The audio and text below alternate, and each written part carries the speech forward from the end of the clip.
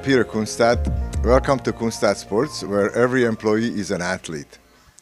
Uh, with me today is uh, Krista Bellinger, the manager of the, our Kanata store, and she'll help me with this presentation. In this video, we will go over the actual process of fitting a ski boot to a skier. First thing you want to do um, is make sure that you're going to have time because boot fitting is a lengthy process and it's quite important that you make sure that you do get the proper boot. So some of the things that you want to make sure you have when you do go for a boot fitting is A, a proper pair of socks. These make a huge difference and they can either make you have a good day or a bad day. Also another thing that we usually take a look at is an insole typically inside a boot what you get is a thin thin insole that does not give your foot a lot of support so this is another thing that can make your boot very comfortable a couple of the tools that we use for proper boot fitting is foot measurer this here helps us get a good gauge on the width of your foot as well as the accurate sizing we came to the point now where we have decided on the model of the boot and the style of the boot, etc., etc. And now we need to match that specific boot to the skier. So we'll go, we'll go over the, the procedure that, that is used to fit, a, do a proper uh, boot fit. To measure the foot exactly, to get an idea of the width and the, and the length of, of the foot, you will, you will see, uh, it's very interesting, very few people have a matching pair of feet. Uh, there's, everybody has uh, one foot that's at least half a size bigger or smaller than the other. So let's have a look. Now we put on the, the socks and we'll, we'll put on the socks that uh, Krista will be actually skiing in. Go, go ahead, please. Okay, now we're gonna now we're gonna ask Krista to step into the measuring device, and you stand up, please. You put your heel in the back of the device. Uh, we'll uh, and and your left the, the left side of the of the foot on the side of this of this here. You put it down, and now you measure. The boot is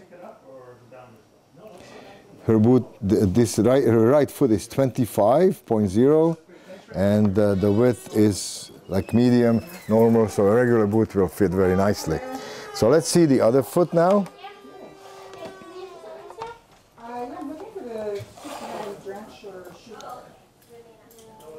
And here we go, ladies and gentlemen. Krista's left foot is 24 and a half, so it's half, if half size smaller than her right foot. That happens to everybody on the planet. We have chosen the, the boots that will fit that size. These are, these are boots size 25.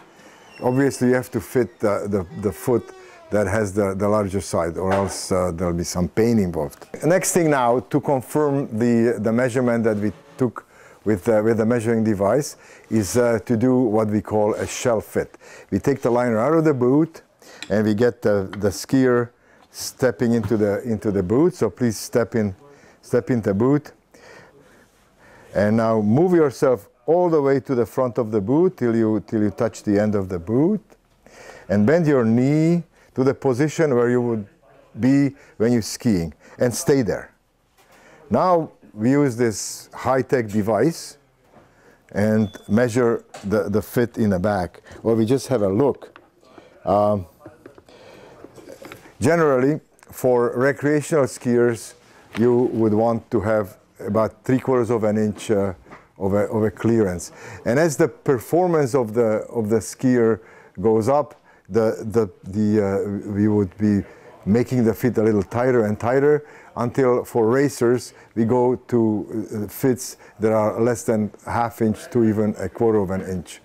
At this point it's a, it's a good idea to point out that most of the ski boots uh, are equipped with a footbed that is of the simple nature, very thin, very limited su uh, support, and uh, a large, large number of, of skiers, and definitely the advanced skiers uh, prefer to have some degree of customization in terms of uh, their footbeds.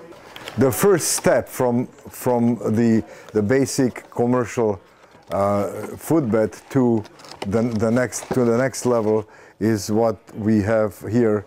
Uh, this happens to be a product made by Superfeet. Not necessarily uh, you, need to buy a Superfeet, but something of, of that sort. It's an item that will give a, a skier a little bit of a heel lift, a little bit more support, and uh, a little bit of, a, of an arch support. So uh, this would be the step to take to make this, the boot slightly more uh, better fitting and, and slightly better performing. The ultimate solution for every skier would be a, an orthotic fitted footbed. That is a reasonably or relatively expensive uh, solution, but on the other hand, it's an orthotic footbed that can be transferred from one, one boot to another, even into shoes. And uh, there is a lot of, there are many uh, insurance programs that actually cover uh, the cost of uh, orthotic custom footbeds. It's time now to put the liner back in and uh, try the, the actual uh, boot and do the actual fitting of the, of the ski boot. Like you don't step in, put your foot in, right, and just relax. You notice that we buckle up the first buckle, not very tightly, not very tightly here. Now we come to the buckle that makes a lot of difference in terms of fitting a boot. And there is this buckle here that will push uh, Krista's foot back into the, into the heel pocket. There is a heel pocket that is designed in, into, the, uh, into the liner to uh, make a snug fit for her, for her toe, uh, for her heel. And so now uh, I will tighten the, the Velcro on top of the, uh, on top of the boot and buckle up the last, the last buckle. At this point, at this point, the, the fit, this is a good time to ask Krista how she feels, whether there are any points, whether there are any, any pressure points, whether actually the volume of the boot is what we expected, whether the boot is uh, too tight or too loose. And uh, the way we will describe it, first of all, is that maybe we'll give it a little kick uh, so that the heel that the heel is in the right place. Okay, and now, if you just bend your knees and stay in this position, and now you describe to us where the toe is, whether the toe is touching. The toe should be close to the end of the shell, but there should be enough freedom to move, to move. If you had a piano in there, you could play piano with your toes. So when my knee is bent forward like this, Yes. I can feel my toes right at the end of the boot just touching. They're completely flat, but they are not bent. And if I were to have to play piano with my toes, I definitely could. We got Krista fitted in, into these boots quite comfortably, uh, but let's not celebrate yet. Um, well, what we will recommend, and we recommend it with, with uh, some, of the, some of the customers, not all of them, uh, to take the boots uh, and spend one or two hours in them at home, not necessarily even walking, just sitting, watching television or whatever, and getting used to the boot, letting the liner adjust itself to the foot because the liner actually will, will uh, adjust itself, it will change uh, its shape uh, with, with the heat of the foot. And if there are any points developed that, uh, that are sore, the boot can be adjusted uh, and uh, made completely, absolutely uh, comfortable. Uh, at this point, what we want to say also is that at Kunstadt Sports, we guarantee fit. That means that if a customer is fitted by one of our associates in a store for a pair of boots, we guarantee that those boots will fit on the hill. If uh, sometimes it happens that perhaps we uh, have been wrong, that we have to uh, redo it, we guarantee that fit. We will either adjust the boots until they fit, or we will ultimately even replace the boots to make sure that there is absolute satisfaction guaranteed. It's very important to know that when you first put your boot on at the store, it's not supposed to feel like a slipper. So you need to keep in mind that the liner inside of the boot is going to flex out over time. So it's pretty important to know that when you initially put on that boot that it is going to feel a little bit tighter and that's okay because after a good you know, maybe two, three days out on the hill, that that liner will pack out, and it's much better to have a boot that fits a little tight.